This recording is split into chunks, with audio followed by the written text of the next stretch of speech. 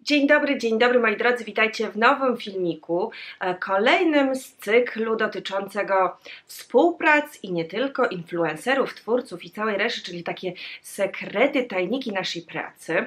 E, skoro było już o współpracach barterowych, było już o przesyłkach piarowych, no to dzisiaj podejmiemy kolejną część, czyli kody. Kody rabatowe, kody promocyjne, kody zniżkowe, jak zwał, tak zwał. Wiecie doskonale o co mi chodzi. A więc jeśli jesteście zainteresowani tym tematem, to zapraszam Was bardzo serdecznie, ponieważ dzisiaj opowiem Wam o tym, że nie wszystkie kody rabatowe, które um, widzicie wokół Was i które Wam udostępniamy, oznaczają płatne współprace. I nie zawsze te kody rabatowe to dla nas, twórców, influencerów, jest dobre rozwiązanie i dlaczego. No dobrze, moi drodzy, zacznijmy od takich pierwszych, najważniejszych informacji. Kody rabatowe. One pojawiły się tak naprawdę już dobrych kilka lat temu.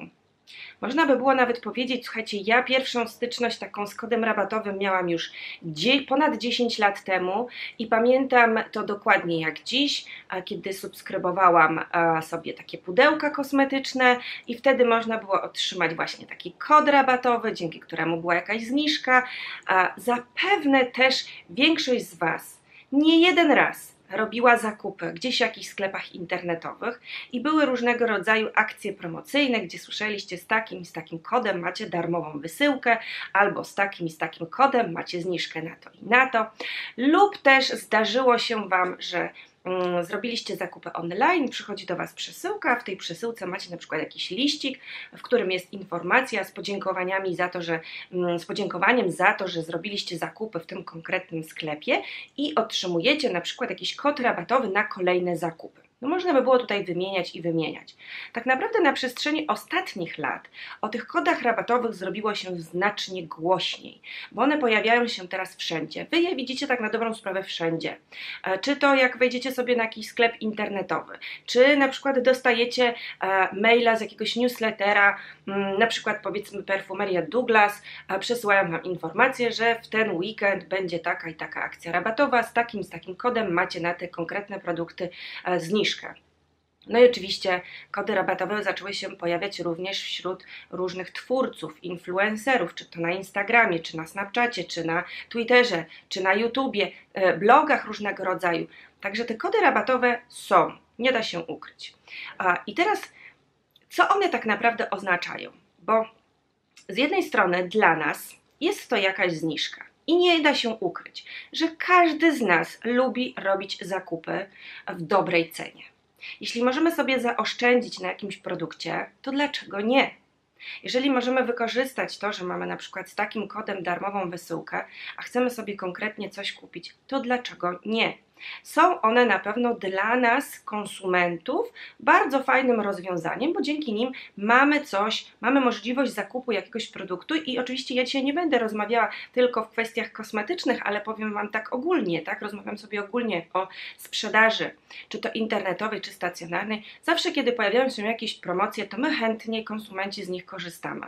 No bo tak jak mówię, mamy tę możliwość, że możemy kupić coś taniej, zaoszczędzić sobie pieniądze, wydać na coś innego, odłożyć te pieniądze, pieniądze, no jest to dla nas jakaś dobra opcja. Z drugiej strony, jak sobie popatrzycie na takiego producenta, który robi promocję na jakieś produkty, na swoją markę, na całą markę, czy daje właśnie takie kody rabatowe, co jemu to daje? No na pewno sprzedawane są produkty w niższej cenie, ale z drugiej strony, słuchajcie, pomyślcie sobie, jakbyście byli takim um, producentem jakiegoś, mieli jakiś swój produkt, który chcecie sprzedać. I teraz tak, Zakładamy, że jest to produkt, jesteście nową marką na rynku i chcecie się rozreklamować. Co robicie? Mm, dajecie promocję, o której zaczynają wszyscy głośno mówić. Czyli zaczyna się też trochę taka poczta pantoflowa, z drugiej strony wysyłane są maile, um, dowiadujecie się o jakiejś promocji, um, idzie reklama, tak, na przykład dowiadujecie się o, o, o, tej marce konkretnie, czy o tych produktach z radia, z telewizji, być może z jakiegoś magazynu, czy od jakichś influencerów. Czyli mamy tutaj reklamę dla tego właśnie producenta, dla tej marki. Z drugiej strony, ok, sprzedajemy produkty, swoje produkty taniej, ale napędzamy sprzedaż, bo wiemy, że jeżeli przyjdą do nas klienci lub też nowi klienci, lub też regularni klienci, którzy kupią w takiej konkretnej cenie po takiej zniżce produkt, być może skuszą się na kolejny. Być może zerkną sobie na stronę internetową i coś jeszcze ich zainteresuje. Więc zaczyna nakręcać się sprzedaż.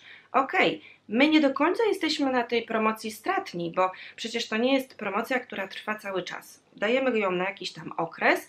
Mm, wtedy nakręca nam się sprzedaż, robi nam się reklama, a sprzedajemy dużo więcej niż byś, gdybyśmy sprzedawali w cenie regularnej, ale być może jeżeli klient e, wypróbuje nasz produkt, będzie z niego zadowolony, z powrotem do nas wróci, będzie znowu polował na jakąś promocję. No po prostu słuchajcie, nakręca się cała ta machina sprzedaży, handlu, marketingu i to zawsze dla producenta jest też dobre rozwiązanie. Ale słuchajcie, jest też pewien mały haczyk w tym wszystkim, a mianowicie co dla nas influencerów, czy tam twórców, oznacza działanie na takich kodach rabatowych i o tym opowiem Wam już w ostatniej części. Na, na, ten moment, na ten moment chciałabym się skupić na tym, żeby powiedzieć Wam, że kwestia kodów rabatowych, kodów zniżkowych, promocyjnych wcale nie jest taka oczywista, jak może Wam się wydawać. Ostatnio nawet spotkałam się z taką opinią, którą wygłasza osoba, która twierdzi, że kompletnie nie ma żadnych współprac, więc też czasami się zastanawiam, to skąd ona może o takich rzeczach wiedzieć, skoro nie ma żadnych współprac, a tak szeroko to wszystkim rozgłasza, mianowicie to, że jeżeli macie, jeżeli zobaczycie u jakiegoś twórcy, influencera kod rabatowy na taką konkretną markę, to znaczy, że on ma podpisaną umowę długoterminową, zarabia na Was pieniądze i wciska Wam te produkty i tak dalej. Wiecie co? Czasami jak słucham takie teorie, to włos mi na głowie staje. Po prostu zastanawiam się, po co ta manipulacja w stosunku do Was i wygłaszanie teorii, które nie zawsze mają poparcie w rzeczywistości, bo ja jako osoba, która współpracuje z różnymi markami na różnych zasadach, czy są to współprace barterowe, czy są to współprace płatne, czy dostaję jakieś przesyłki PR-owe. Wiem, jak to wygląda od środka i doskonale wiem o tym, że nie każdy kod rabatowy, kod promocyjny oznacza jedno i tylko i wyłącznie to samo. I teraz właśnie przejdziemy sobie do takich przykładów, które Wam dam, żeby Wam za, zamotać trochę w tych informacjach związanych z kodami e, rabatowymi i pokazać Wam, że to wcale nie jest takie oczywiste i nie każdy kod rabatowy oznacza płatną współpracę. I zacznijmy właśnie od tej płatnej współpracy. E, kiedy ten cały proces się zaczyna? E, zgłasza się do nas barka lub jej przedstawiciel. Rozmawiamy sobie mailowo lub też telefonicznie i ustalamy warunki działania. Zakładamy, że jest to współpraca płatna, czyli będziemy musieli podpisać umowę i za wykonane usługi otrzymamy wynagrodzenie. Już podczas tych e, rozmów dotyczących właśnie współpracy, zanim oczywiście jeszcze podpiszemy umowę i coś tam i, i wyjdzie i zaczną się te działania w stosunku do marki, ustalamy też pewne warunki i bardzo często na tym właśnie etapie producent lub przedstawiciel oferuje nam kod rabatowy dla naszych obserwatorów. My z takiego kodu nic nie mamy czyli nie otrzymujemy żadnego wynagrodzenia, bo naszym wynagrodzeniem w tym momencie jest, e, jest ta kwota pieniędzy, którą otrzymamy za wykonaną usługę, nie za kod rabatowy. To jest pierwszy przykład. Oczywiście podczas wykonywanych działań promocyjnych dla klienta informujemy Was o tym, że jest taki kod rabatowy, z którego Wy możecie, ale wcale nie musicie skorzystać. Drugi przykład, również na zasadzie działania e, współpracy, ale tym razem współpracy barterowej. Czyli jak już wiecie z mojego poprzedniego filmu, wynagrodzeniem w takiej współpracy jest produkt, który otrzymujemy. I tutaj znowu Przechodzimy do kontaktu z klientem lub jego przedstawicielem, e, ustalamy warunki naszych działań, e, rozmawiamy o tym, jak to wszystko będzie wyglądało. Wiemy, że naszym wynagrodzeniem jest produkt, który otrzymamy, a nie kwota pieniężna, którą otrzymamy po wykonaniu działań. I dostajemy propozycję od producenta kodu rabatowego, z którego kompletnie nic nie mamy. Naszym wynagrodzeniem, powtarzam, jest produkt, który otrzymujemy w takiej współpracy, ale oczywiście informujemy Was podczas naszych działań, że jest taki kod rabatowy, z którego możecie, ale nie musicie skorzystać. Proste? Proste. Druga, nie, trzecia kwestia odnośnie e, kodów rabatowych. Zakładamy, że podejmujemy współpracę z klientem. Może być to współpraca płatna lub może to być współpraca barterowa. Na etapie rozmów e, otrzymujemy informację od klienta lub jego przedstawiciela o kodzie rabatowym, który daje nam jakąś prowizję od sprzedaży. Czyli może być tak, że nie dość, że otrzymujemy wynagrodzenie za wykonaną pracę, usługę dla klienta, to jeszcze dostajemy kod rabatowy, który im częściej będziemy Wam, o którym im częściej będziemy Wam mówić i Wy z niego będziecie korzystać i kupicie coś, wykorzystując właśnie ten kod rabatowy, my otrzymamy prowizję lub może być tak, że wykonujemy działania dla klienta lub jego przedstawiciela um, barterowe, czyli naszym wynagrodzeniem jest produkt, który otrzymujemy, ale dodatkowo jeszcze mamy kod rabatowy, który daje nam jakąś prowizję ze sprzedaży. Widzicie? To wcale nie jest takie oczywiste, jak wszystkim by się wydawało. Wy po drugiej stronie nie wiecie, dopóki my Was o tym nie poinformujemy, jak to działa. Więc możecie się spodziewać, że mamy współpracę płatną i otrzymaliśmy kod, z którego nic nie mamy. Mamy współpracę barterową, otrzymaliśmy kod, z którego nic nie mamy. Ale ma, możemy mieć albo współpracę barterową, albo współpracę płatną i otrzymaliśmy kod, z którego mamy prowizję od sprzedaży. Zobaczcie, ile jest rozwiązań. Wszystko zależy od tego, jakie będziemy mm, ustalać warunki przed podjęciem współpracy. Ale to jeszcze nie koniec, moi drodzy, bo może być też tak, że my wcale nie mamy żadnej współpracy, a mamy dla Was kod rabatowy. Kiedy to się dzieje? No i teraz są takie sytuacje, kiedy przychodzi do nas paczka piarowa. Jak wiecie, paczka piarowa do niczego nas nie zobowiązuje. Więc my wcale nie musimy robić żadnej reklamy, przygotowywać jakichś filmów, e, postów na blogu, zdjęć i tak z produktem, który otrzymaliśmy. Jest to paczka PR-owa. Ale zdarza się, że w tej paczce PR-owej, kiedy otrzymujemy informację, co to jest za produkt, jest tam też taka informacja, że mm, mamy na przykład, że marka, sklep i tak dalej daje kod rabatowy dla naszych obserwatorów e, w takim i w takim terminie, na takie i takie hasło, o takiej czy tam innej stawce. No i teraz od nas, tak na dobrą sprawę zależy, czy my Wam ten kod udostępnimy, czy też nie. Bo może to być taka zachęta dla nas, żebyśmy pokazali ten produkt, udzielając Wam właśnie tego kodu rabatowego, dzięki czemu ta druga strona, czyli agencja, przedstawiciel, marka, klient, otrzyma darmową reklamę. I tutaj my decydujemy o tym, czy Wam sprzedamy właśnie taki kod rabatowy, czy też nie. I bardzo często, słuchajcie, jest tak, że jeżeli jest fajny produkt, mm, drogi produkt, fajna marka, którą lubimy i pojawia się ten kod rabatowy, to sami z siebie Was o tym informujemy, że jest taka zniżka, bo może to Was zachęcić do tego, że i Wy spróbujecie ten produkt, Wy go wypróbujecie, kupicie po niższej cenie i będzie to dla Was atrakcyjna okazja.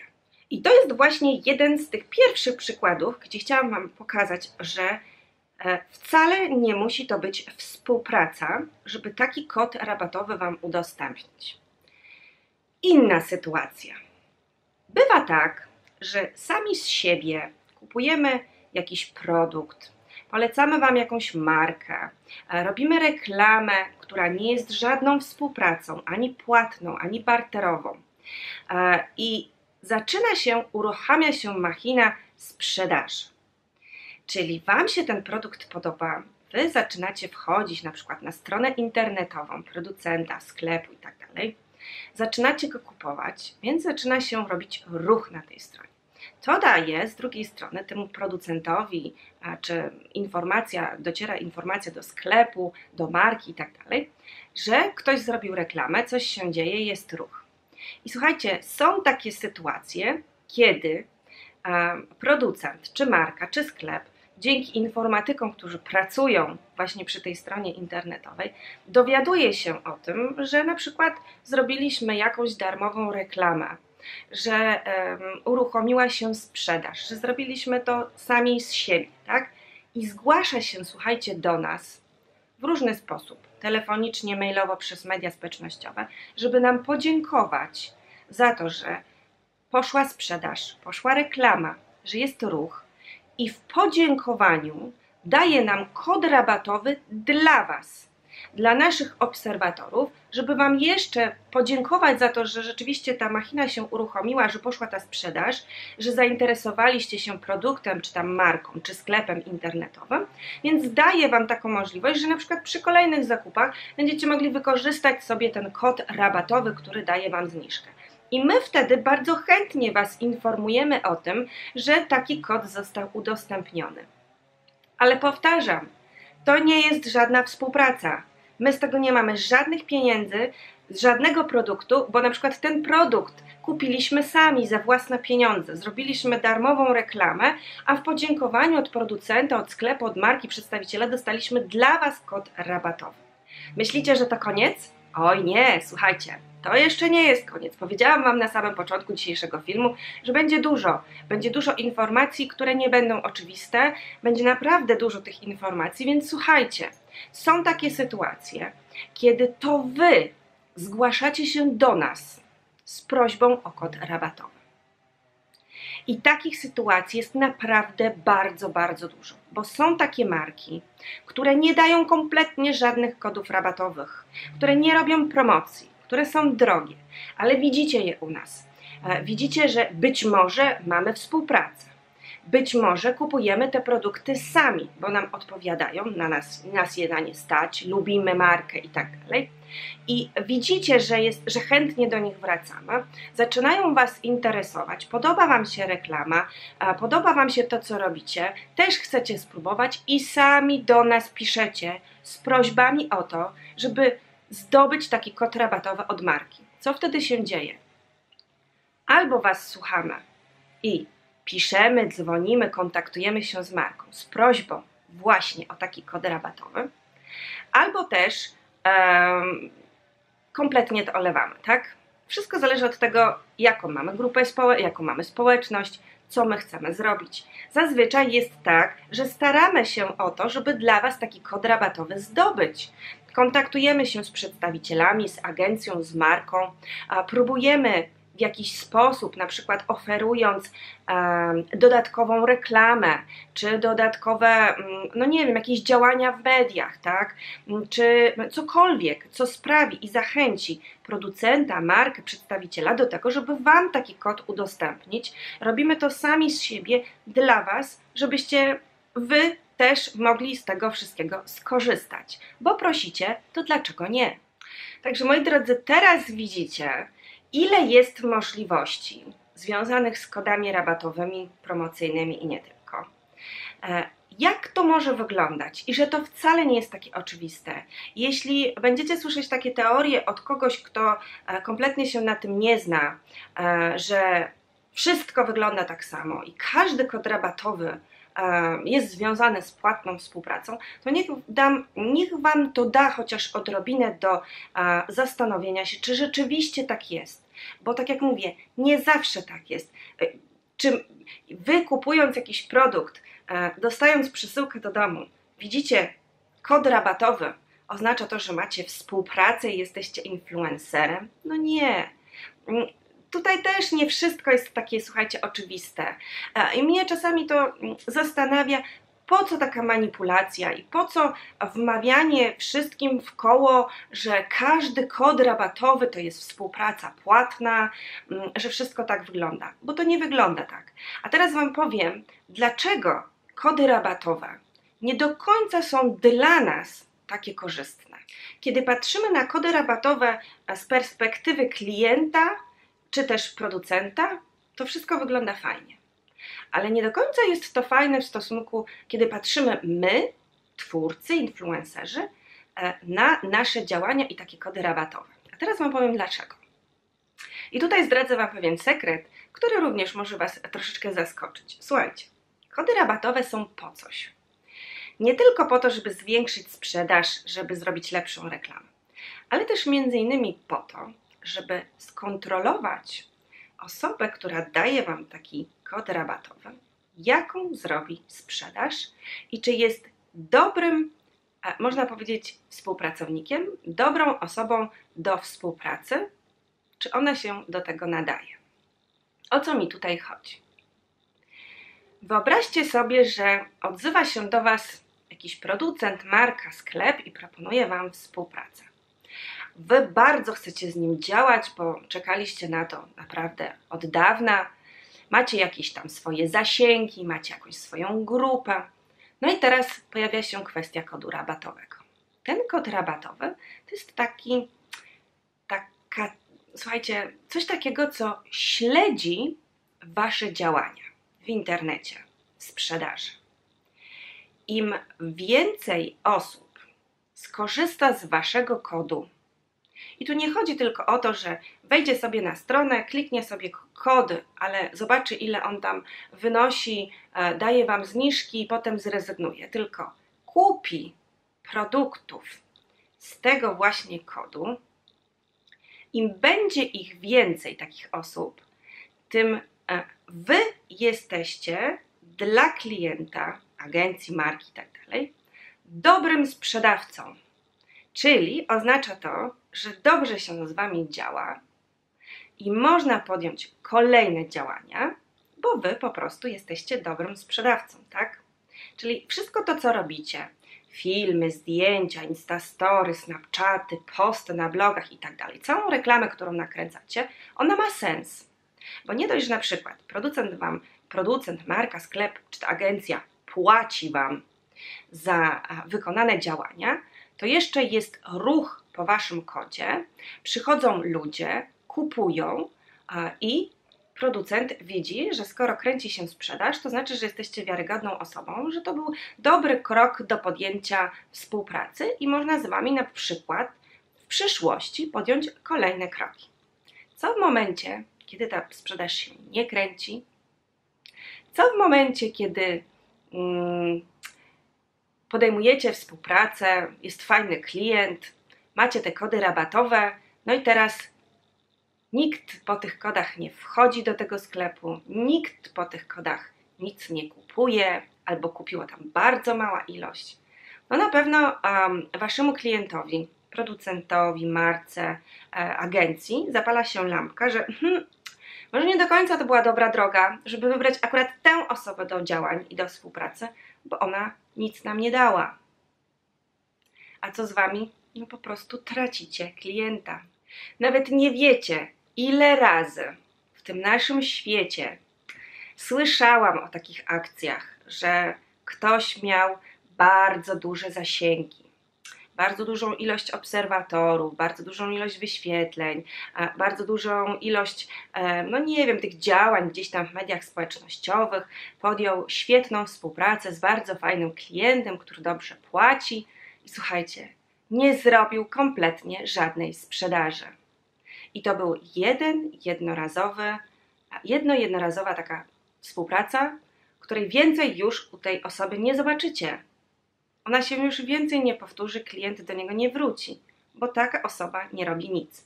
A z drugiej strony, słuchajcie, też słyszałam o takich przypadkach, że ktoś jest jakimś małym twórcą, czasami mówimy mikroinfluencerem, nie ma żadnych ogromnych zasięgów, e, ale ma świetną, zaangażowaną społeczność, wchodzi we współpracę z fajnym klientem i robi, słuchajcie, taką sprzedaż, że to się w głowie nie mieści.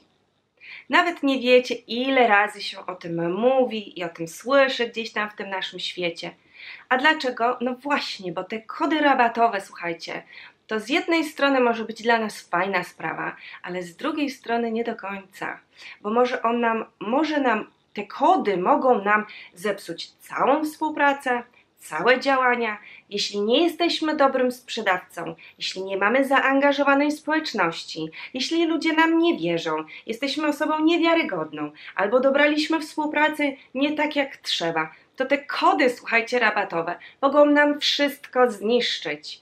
I dla Was to będzie dobre rozwiązanie, bo Wy coś zyskacie po niższej cenie, a dla nas może to być, no właśnie, nie chcę tutaj mówić co, ale już takie po prostu przybicie takiej pieczątki na papierze, która mówi nie, koniec, z tym influencerem, z tym twórcą więcej współpracy nie będzie. To się oczywiście też rozchodzi, słuchajcie, no bo tak jak mówię, o tym się mówi. E, I w naszym świecie e, wiemy mniej więcej, jak gdzieś to tam działa, funkcjonuje. I czasami też właśnie opinia o jakimś influencerze czy o jakimś twórcy przychodzi z agencji do agencji, mm, gdzie klienci wypowiadają się nie, bo gdzieś tam mieliśmy, mieliśmy z nim styczność i sprzedaż się nie udała, że ten influencer nie robi żadnych, e, żadnych właśnie wyświetleń, żadnego działania, żadnego ruchu na naszej stronie, my nie mamy sprzedaży. To się słuchajcie, później tak wszystko przenosi, my tracimy też możliwości zarobku, możliwości współpracy, jakichś działań. Także widzicie, dla Was kody rabatowe mogą być czymś fajnym, mogą też Wam dawać do myślenia i na przykład y, możecie mieć dość, że gdzieś tam wyskakują wszędzie te kody rabatowe i zaraz Wam wyskoczą z lodówki mm, i że Wy też już tego nie chcecie oglądać, ale dla nas teraz już wiecie, że nie do końca jest to takie fajne, jakby się mogło wydawać. Może być, bo możemy się w tym świetnie sprawdzić, możemy zrobić świetną sprzedaż, jeśli znamy swoich odbiorców, wiemy jakimi jesteśmy osobami i tak dalej, więc może to być świetna okazja, ale nie zawsze się to udaje. I uwierzcie mi, kody rabatowe mają swoje plusy i jak widzicie mają też swoje minusy, więc pamiętajcie o tym.